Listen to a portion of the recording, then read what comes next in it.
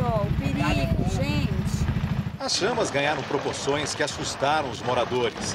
Rapidamente, o fogo consumiu tudo que estava pela frente, nesta área de preservação ambiental no Parque Balneário Meia Ponte.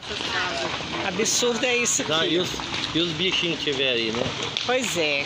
Quem mora na região acredita que o incêndio foi criminoso. Aquela pessoa maldosa, né? Que toca fogo um horário desse, né? Numa coisa em cima é, de, morador, casa, né?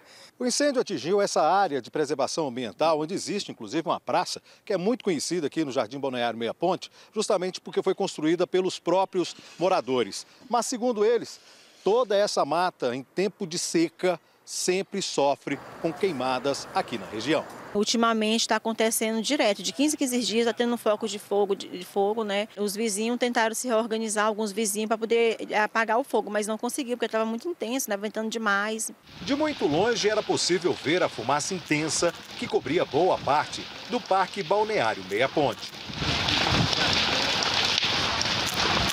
Segundo os moradores, o fogo começou pela manhã e só foi controlado na noite desta segunda-feira. A gente ainda observa que existem vários focos espalhados aqui pela mata. Agora, o que chama bastante a atenção é a fumaça densa que toma conta desta parte do setor. Até para respirar, a gente tem um pouco de dificuldade. Estou usando máscara, né? nem por causa da Covid, que eu não estou aguentando aqui. Meu olho chega a estar vermelho de tanta fumaça. Isso já tem desde umas 4 horas da tarde, que a gente tá aqui não aguenta aqui. Não vai aguentar nem dormir aqui, tô com a menina já com a garganta inflamada, tá difícil. Essa dificuldade de respirar obrigou Patrícia a deixar a casa onde mora para evitar mais problemas de saúde na família. Eu teria que procurar um lugar para me dormir na casa da minha irmã, porque aqui tá difícil.